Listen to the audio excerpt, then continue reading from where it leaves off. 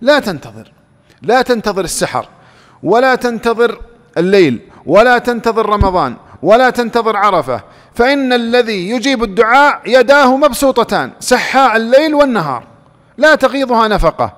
وإذا سألك عبادي عني متى؟ في كل وقت وحين.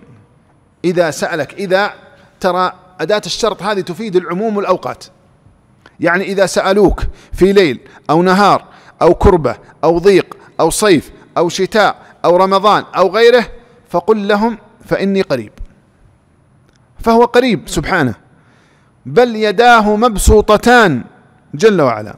صحيح أن هناك إجابات أحرى كما حالات أحرى بالإجابة لكن لا لا يمنعك أخي الكريم من مواصلة الدعاء في كل وقت وحين.